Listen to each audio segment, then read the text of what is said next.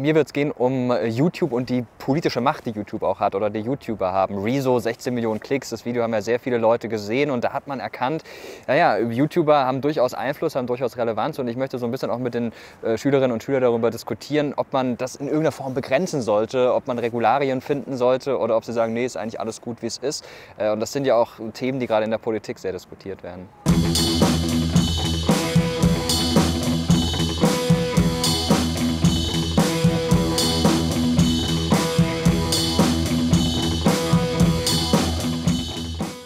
Morgen. Hallo.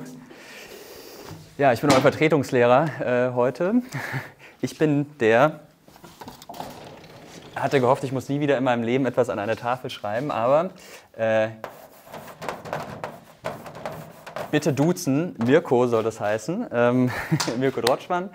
Äh, freut mich sehr, dass ich heute hier sein kann bei euch ähm, und ein kleines bisschen mit euch sprechen kann ich saß ziemlich lange auch genau hier, also in dem Zimmer und drüben und oben und so weiter und so fort. Äh, ich war hier auch an der Schule eine ganze Weile. Ähm, aber ich bin äh, heute hier, um euch so ein bisschen was zu erzählen. Ich habe es ja schon mal so an die Wand geworfen über YouTube ähm, als heimliche politische Macht. Ähm, klingt jetzt vielleicht so ein bisschen hochgestochen, aber was ich gerne machen würde, ist euch erstmal so ein bisschen allgemein was über YouTube zu erzählen, äh, wie die Plattform vielleicht auch hinter den Kulissen tickt, warum YouTube so erfolgreich ist und dann auch ähm, ja, welche politische Wirkung äh, YouTube inzwischen hat. Wer von euch hat das Rezo-Video gesehen?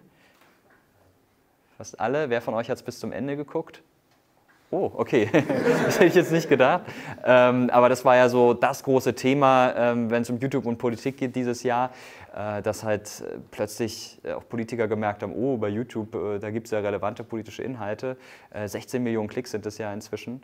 Ähm, und darüber würde ich gerne ein bisschen mit euch sprechen und euch auch so die Schattenseiten zeigen, die, die YouTube mit sich bringt, gerade wenn es um Politik geht, Falschmeldungen, Hassrede und solche Dinge. Auch das wäre so ein Thema.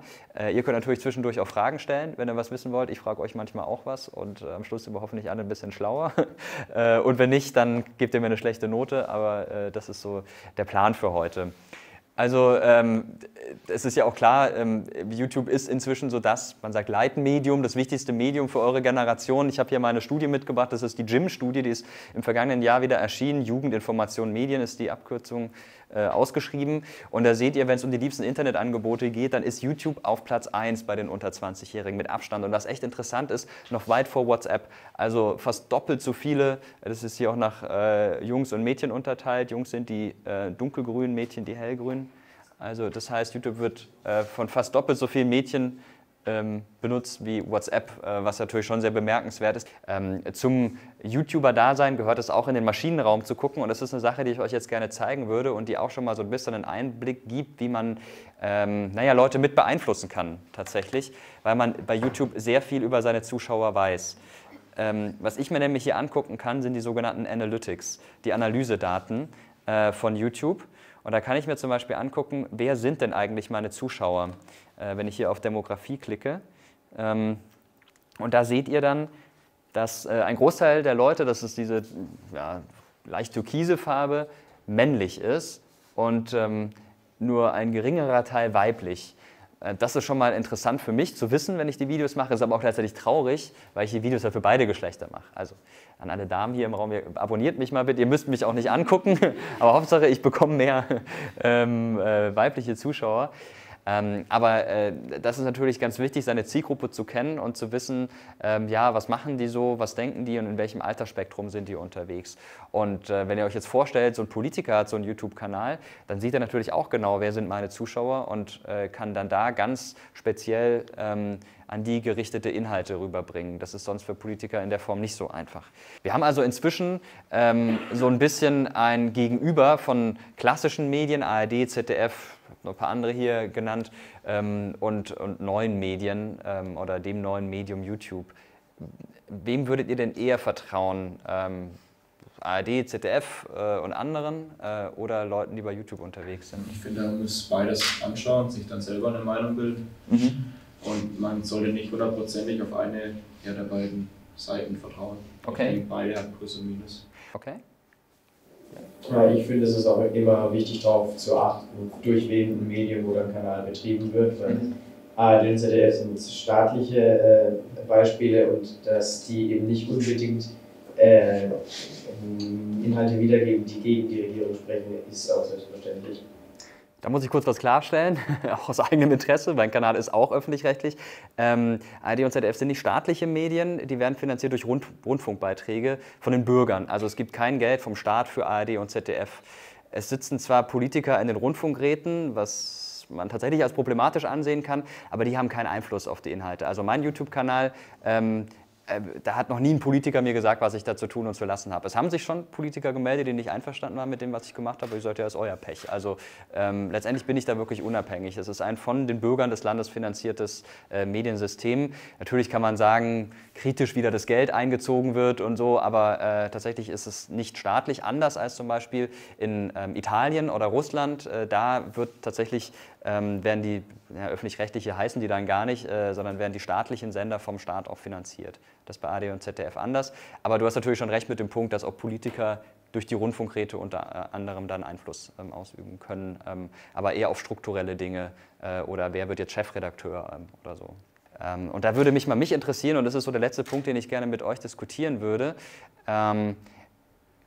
Ähm, es gab ja äh, Forderungen auch in der Politik, Annegret Kramp-Karrenbauer hat es angesprochen, dass man auch YouTuber, Influencer generell beschränken sollte, wenn sie sich über politische Themen äußern, vor allem vor Wahlen. Da gab es dann so Vorschläge, eine Woche vor Wahlen dürfen keine Wahlempfehlungen mehr ausgesprochen werden, auch im Netz.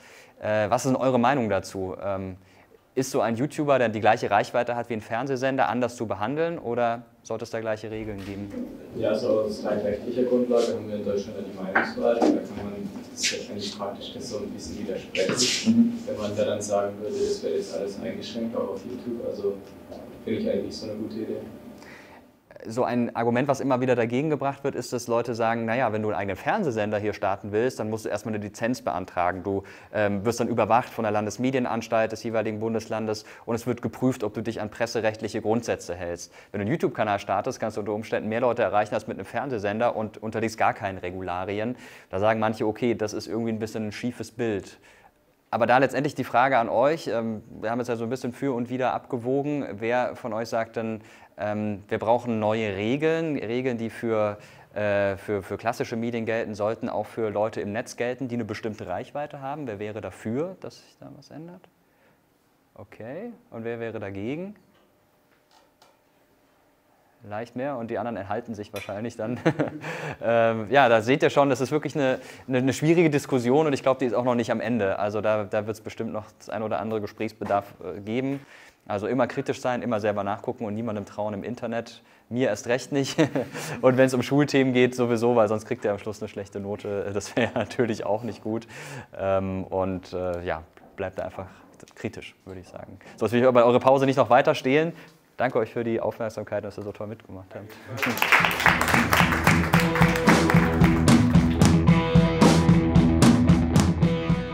Ich fand es sehr interessant, weil man redet darüber ja sonst nicht so.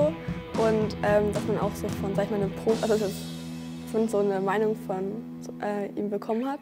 Was mir sehr gut gefallen hat, war, dass er das Thema, finde ich, sehr interessant gestaltet hat. Und mir hat gut gefallen, dass er auch persönliche Einblicke gegeben hat, also dass er halt seinen eigenen Kanal da vorgestellt hat und dass er das Ganze ja sehr anhand von Beispielen aufgezogen hat.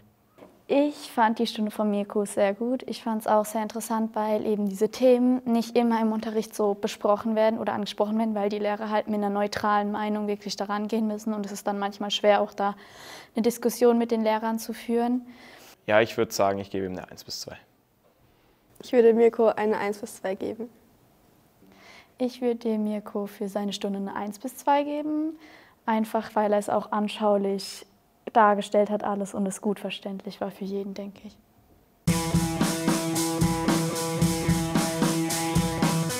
Es war super spannend. Also äh, die Leute waren wirklich aufmerksam dabei. Zumindest hatte ich den Eindruck, dass sie äh, aufmerksam waren und haben mitgemacht, mitdiskutiert und die Zeit ging so schnell rum. Also ich dachte, wir sind jetzt gerade 20 Minuten und dann waren schon 45 Minuten vorbei. Zum Glück konnte man ein bisschen überziehen. Also war, war eine interessante Sache für mich.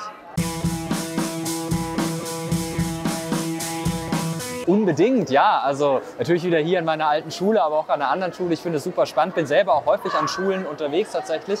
Äh, und das macht total viel Spaß, mit den Leuten zu diskutieren, weil das sind eben auch meine Zuschauer unter Umständen. und äh, von denen mitzubekommen, wie sie denken, was sie gut finden, was sie schlecht finden, ist für mich total wichtig und deshalb ist immer eine schöne Erfahrung.